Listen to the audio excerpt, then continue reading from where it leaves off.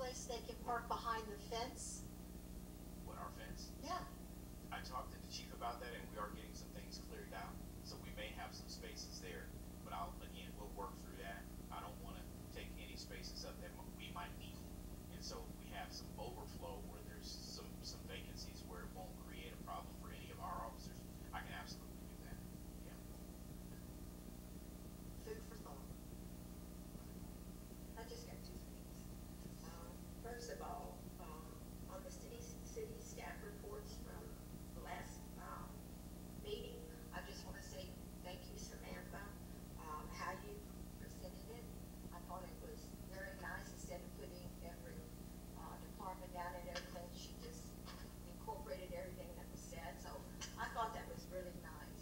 I, I like, I like that format that she, she put on there, sir, which, uh, Mr. Ronnie. What are you talking about? I'm talking about on your last report, the city. No, I didn't forget. I just think that we're doing a disservice to those people over there. Yes, When you yes. got half of a community in one city and half in another. So I'm just trying to keep it going, okay? Correct. The other thing was this email that we received about using the parking lot across from the library for, Here. Yeah, you, here, using that. right, for the vehicles from the different, um, offices.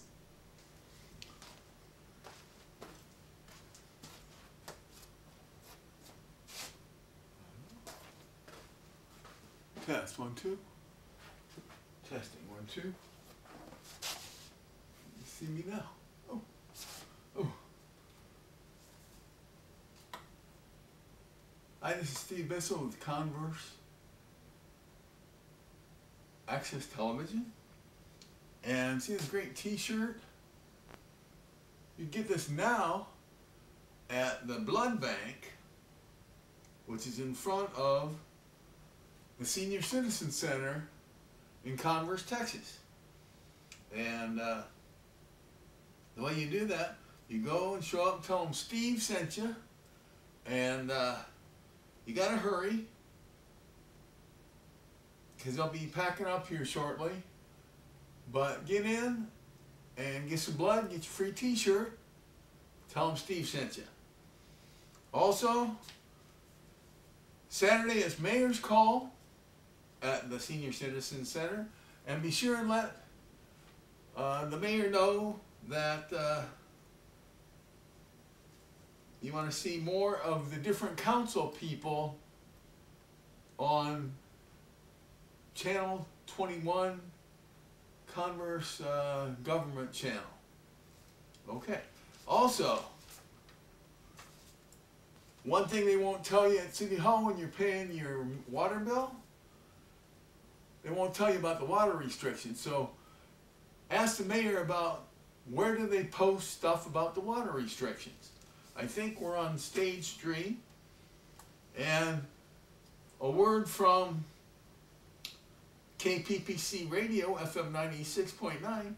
You can listen to Joe Gunn talk about I have decided to follow Jesus, historical background of the song, on KPPC Radio, FM 96.9, keep people praising Christ.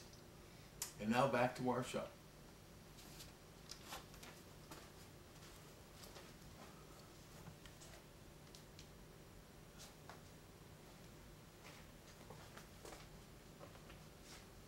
Take whatever direction council wants to give. Well, I understand that, or, or if, you know, it's what, at least four police cars from different entities that are out there, Yeah. you know, just, I would hate to say you can't park there.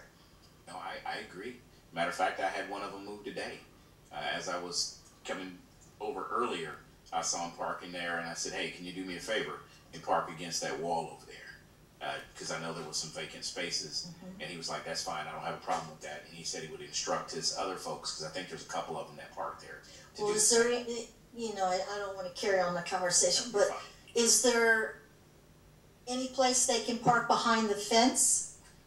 What our fence? Yeah, I talked to the chief about that, and we are getting some things cleared out. So we may have some spaces there, but I'll again, we'll work through that. I don't want to take any spaces up that we might need. And so if we have some overflow where there's some some vacancies where it won't create a problem for any of our officers, I can absolutely do that. Yeah. Alright. Food for thought. I just got two things. Um, first of all, um, on the city, city staff reports from the last, um, meeting, I just wanna say thank you Samantha, uh, how you presented it. I thought it was very nice, instead of putting every, uh, department down and everything, she just incorporated everything that was said, so I thought that was really nice. I, I liked, I liked that format that she, she put on there, sir, which, uh, Mr. Ronnie What are you talking